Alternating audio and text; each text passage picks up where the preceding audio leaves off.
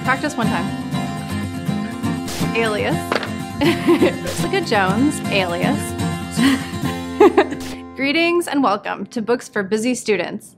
I'm Lauren, a librarian at the Ray Howard Library. Jessica Jones, alias, is set in the Marvel Comics universe, but the protagonist is not your average superhero. The gritty, somber tones give the feeling of detective noir with references to the famous detective film Chinatown.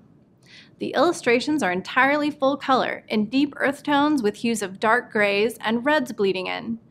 The urban Marvel universe is established when we discover our heroine is a private detective, with photos of herself fighting crime alongside other famous superheroes on her office walls. Her cynical attitude and battle with depression hint at her conflicted nature about her powers.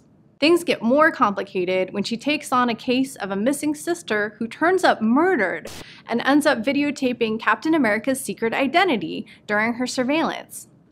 Jessica knows she has to sleuth her way out of this mess when she's implicated for the murder and a larger conspiracy is slowly revealed.